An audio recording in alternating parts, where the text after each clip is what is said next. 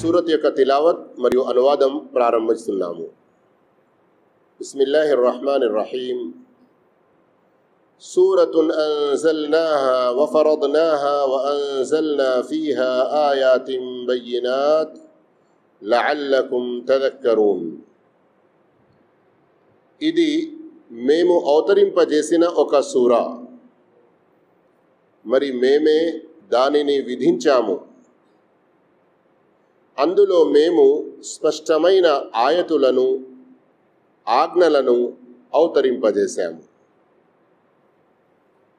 లాల్లకుం తదక్కరూన్ మీరు జ్ఞాపకము చేసుకునేందుకు. ఖురాన్లోని నూట పద్నాలుగు సూరాలలో సూరతుల్ నూర్ సూరతుల్ అహ్జాబ్ మరియు సూరతుల్ నిసాలో ప్రత్యేకంగా స్త్రీలకు సంబంధించిన మరియు పరదాకు సంబంధించిన ఎన్నో ఆదేశాలు వచ్చి ఉన్నాయి. ఈ సూర దీని ఆరంభంలోనే అల్లాహు తాలా మేము దీనిని అవతరింపజేస్తూ చేశాము. దీని యొక్క ఆదేశాలను మేము విధించాము. ఫరద్నాహా మేము విధించాము. దీని యొక్క వ్యాఖ్యానంలో ఇమాం ఇబ్ను కథీర్ రహిమహుల్లా చెబుతున్నారు మేము విధించాము అని అంటే ఇక్కడ ఈ సూరాలో ప్రత్యేకంగా హలాలు హరాం ధర్మమేమిటి అధర్మమేమిటి ధర్మ సమ్మతమేమిటి నిషిద్ధము ఏమిటి అమ్రో నహి ఆదేశాలు చేయవలసినవి చేయకూడనివి. హుదూ హద్దుల గురించి చాలా స్పష్టంగా చెప్పడం జరిగింది. అలాగే ఇమాం బుఖారి రెహమహుల్లా చెప్పారు వహన్జల్నాహా మేము అవతరింపజేశాము. మీ కొరకు మీ తర్వాత వచ్చే వారి కొరకు ఆయాతిం బయ్యినాత్. చాలా స్పష్టమైన ఆయతులు. చాలా స్పష్టమైన ఆదేశాలు. ఎందుకు అవతరింపజేసాము మీరు దీని ద్వారా ఉపదేశము పొంది మీరు దీని ద్వారా గుణపాఠం నేర్చుకొని అల్లా యొక్క ఆదేశాలను తెలుసుకొని వాటి ప్రకారంగా ఆచరించాలి. వాటి ప్రకారంగా మీ జీవితం గడపాలి. ఇక్కడ ఒక విషయం మీరు గమనించండి సోదర మహాశివులారా. లాల్లకుం తదక్కరూన్. తదక్కరూన్ దిక్ర్ నుండి వస్తుంది గుణపాఠం నేర్చుకోవడం. దీని ద్వారా మనం మరచిపోయిన పాఠాన్ని గుర్తు తెచ్చుకోవడం మరియు కేవలం గుర్తు తెచ్చుకుంటే సరిపోతుందా? కాదు. దాని యొక్క ఆదేశాలను కూడా పాటించాలి. ఆ తర్వాత ఆయట్ నంబర్ రెండు అజానియతు వజాని ఫజ్లిదు కుల్ల వాహిది మిన్హుమా మిఅత జల్దా ولا تأخذكم بهما رأفة في دين الله إن كنتم تؤمنون بالله واليوم الآخر وليشهد عذابهما طائفة من المؤمنين వ్యభిచారం చేసే స్త్రీ వ్యభిచారం చేసే పురుషుడు వారిద్దరిలో ఒక్కొక్కరికి నూరేసి కొరడా దెబ్బలు కొట్టండి. మీరు అల్లాహ్పై పరలోక దినంపై విశ్వాసం గలవారే అయితే వారిపై అల్లా యొక్క ఈ ఆజ్ఞను అంటే షరియత్ ప్రకారం శిక్షను విధించేటప్పుడు మీకు ఎంత మాత్రం జాలి రాకూడదు.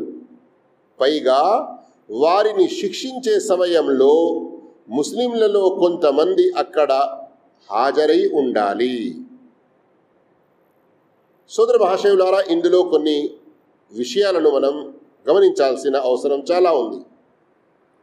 ఆయత్ అనువాదంలో మనం విన్నట్లు వ్యభిచారం చేసే స్త్రీ అయినా వ్యభిచారం చేసే పురుషుడైనా వారిద్దరిలో ఒక్కొక్కరికి నూరేసి కొరడా దెబ్బలు కొట్టండి అన్న పదం వచ్చి ఉంది అన్న మాట వచ్చి ఉంది. అయితే సహీ ముస్లింలో చాలా స్పష్టంగా హదీస్ ఉంది. ఈ భావం సహీ బుఖారి ఇంకా వేరే హదీస్ గ్రంథాల్లో కూడా ఉంది. నూరేసి కొరడా దెబ్బలు బుద్ధిమంతుడైన యవ్వనానికి చేరిన వివాహం కాని ఆ ఇద్దరు స్త్రీ పురుషులు అయితే వారికి కొరడా దెబ్బలు. కానీ అదే ఒకవేళ వివాహం అయిన తర్వాత ఇలాంటి వ్యభిచారానికి పాల్పడితే వారికి రజం అంటే వారిపై రాళ్ళు రువ్వి వారు చనిపోయేంత వరకు వారిపై రాళ్ళు రువ్వుతూ ఉండే అటువంటి ఆదేశం అల్లాహు తాలా ప్రవక్త సల్లల్లాహు అలీ వసల్లం ద్వారా చాలా స్పష్టంగా తెలిపి ఉన్నాడు. ప్రవక్త సల్లల్లాహు అలీ వసల్లం మరణించిన తర్వాత సహాబాలు ఈ రెండు రకాల శిక్షలను విధిస్తూ వచ్చారు. అయితే ఈనాటి కాలంలో కొందరు ఈ శిక్షను చాలా క్రూరమైనది.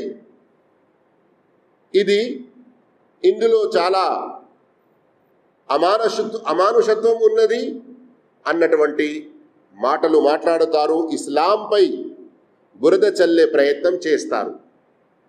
కానీ ఒకవేళ ప్రపంచ దేశాల్లో చూసుకుంటే ఎక్కడైతే ఇలాంటి శిక్ష విధించి ఉన్నదో అలాంటి చోట ఈ నేరాలు అత్యాచారాలు చాలా తక్కువగా జరుగుతున్నాయి.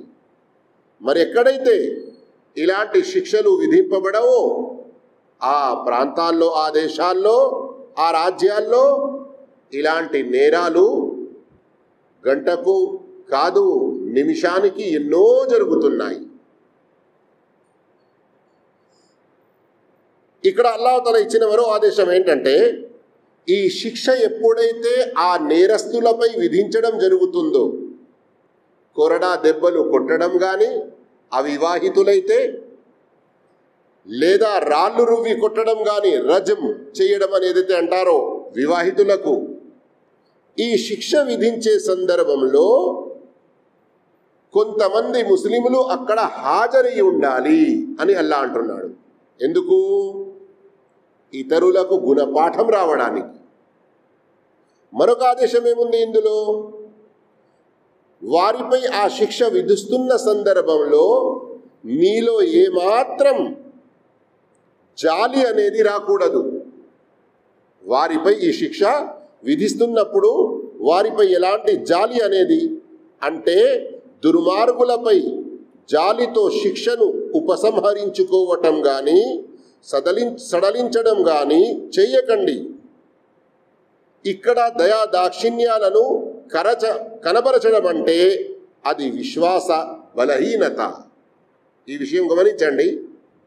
శిక్ష విధిస్తున్నప్పుడు వారికి రక్తం కారవచ్చు.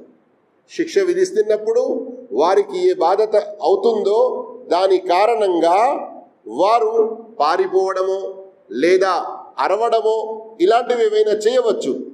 అయితే అక్కడ హాజరైన వారు ఆ శిక్ష విధించేవారు వారిలో ఏదైనా దయాగుణం రావడం జాలి కలగడం ఇది సరి అయినది కాదు. ఎందుకు? వారు ఏ నేరానికైతే పాల్పడ్డారో దానికి తగిన శిక్ష వారికి తప్పకుండా దొరకాలి. అప్పుడే ఇతరులు కూడా ఇలాంటి నేరాల నుండి పాపాల నుండి దూరం ఉండగలరు. అల్లా యొక్క దయతో తర్వాత ఆయతుల యొక్క వ్యాఖ్యానం.